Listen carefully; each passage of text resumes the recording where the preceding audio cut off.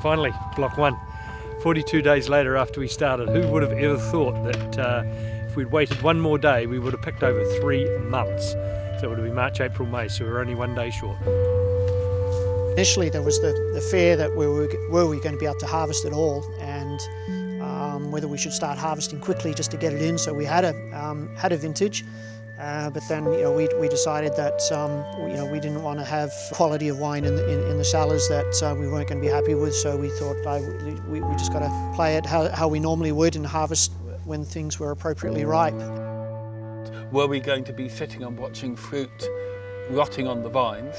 Luckily, the government recognised that we are a key industry.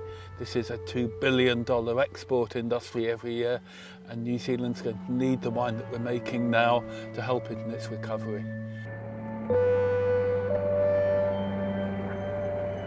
Really interesting just considering the, um, you know, the picking team because we are reliant on you know, the travellers. We um, usually, at least a third of our team is made up of um, uh, you know, the backpacker types. You know, just thinking about those kids and, you know, they, they can't even move. So they're stuck here in, in the accommodation that they've got. And, you know, who knows when they can get on a, on a, on a plane to fly home. So there's a, a lot of responsibility and, you know, we're extremely appreciative of their commitment to stay with us. This is our bubble. this is a bubble. We're all living together, working together. Mm -hmm goal of picking was to limit uh, the contact between people, observing the social distancing. We had to respect the two meters rule, um, which makes it quite tricky sometimes, but I think in New Zealand it's easier because you have uh, the raw spacing more than back in Europe. It was strict and weird at times to be socially distanced and picking in a time that's supposed to be all about like celebration, but I think we still, there was still wonderful, happy times, even amongst the weirdness of trying to keep social distance and being far away from each other. This will be my eighth harvest, definitely the most unique.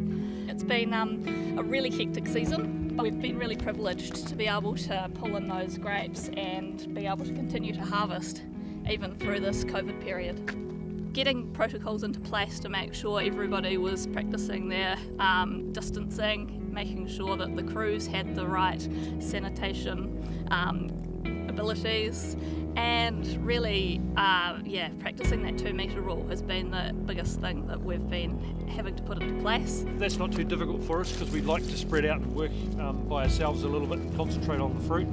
You know, we've had to be a lot more vigilant when it comes to as people start to move towards the end or we're taking fruit close towards the, uh, the final phase of trying to sort it, that we've had to scatter people apart to be able to do that.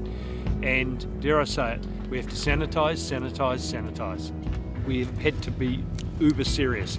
There was no um, sanitizer available quickly, so we had to come up with a solution. But we knew we had our own brandy. Um, we have a product called Fine, F-I-N-E.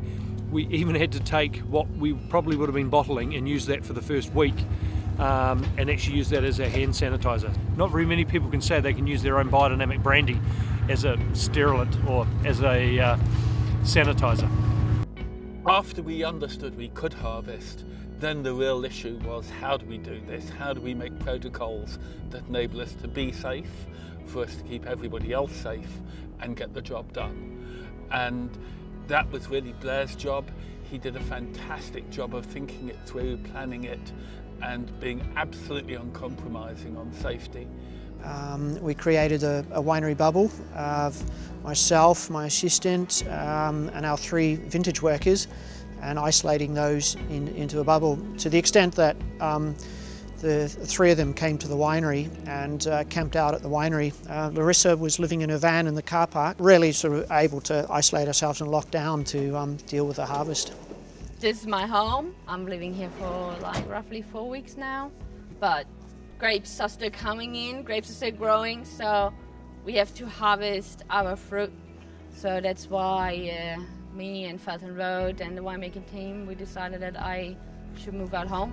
So I'm living here now.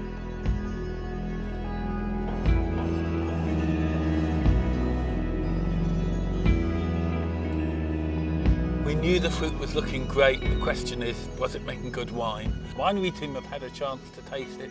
I haven't yet. I'm not in that bubble, and so I have to watch from the outside. I'm looking forward to having my first taste of 2020 Pinot Noir, but they're excited.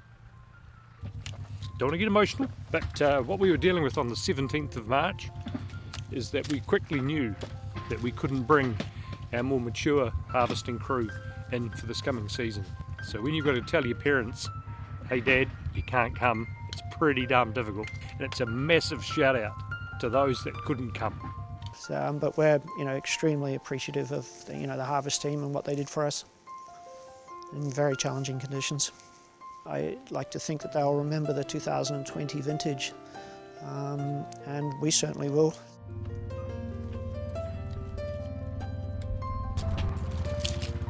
And that is the last one.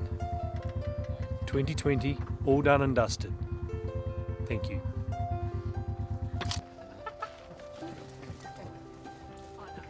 Thank. That's over. Bring on 2021. I'm hoping, like our Prime Minister, that the world after COVID is going to be a kinder place. It'll be a place that's thinking a bit more slowly.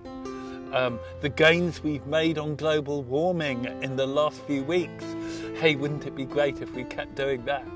So there are upsides, there are possibilities for where we can go forwards with this. And it'd be a shame if a lot of people die and we don't learn lessons.